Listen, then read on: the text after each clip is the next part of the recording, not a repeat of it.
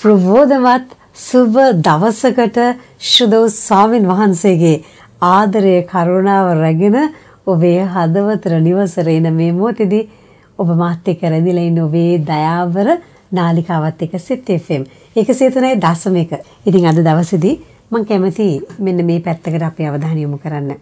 අපි අපේ ශරීරය රැක බලා ගන්නට අපි මොනතරම් උදේ පාන්දර ඉඳලා කී වතාවක් අපි අපිව පවිත්‍ර කරනවද?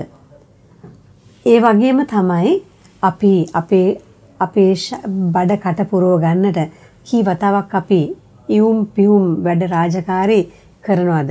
උයනවා තුන් හතර පාරක් තුන් පාරක් උයනවා. ඒ වගේම අපි තේ බොනවා මොන හරි ස්නැක් එකක් ගන්නවා. මේ තරම් අපි අපේ ශරීරයට ලොකු අවධානයක් දෙනවා. ලොකු අවධානයක් දීලා තමයි අපි අපේ මේ ශරීරය රැක බලාගන්නේ මගේ රත්තරන් අම්මේ තාත්ති දුවපතේ.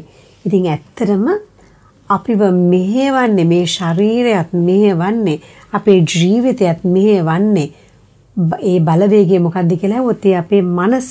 ඉතින් එහෙමනම් අපේ මනස රැක බලා ගන්න අපි මොනතරම් අප කැප වෙනවද? මේක හරි වටිනවා. මේ ගැන අපි අවධානය යොමු කළ යුතුමයි. එහෙනම් අපේ මනස අවදිව තියාගන්න අපේ මනස බලවන්තව තියාගන්නට අපි බොහෝ ආකාරයෙන් වෙහෙසිය යුතුමයි.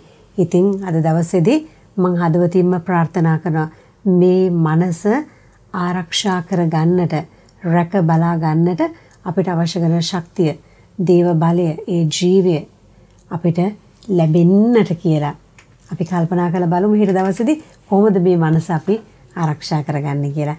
ඒ සඳහා ජයම ජය. රැඳෙන්න අපිත් එක්ක ආයිබෝන් සෙත්.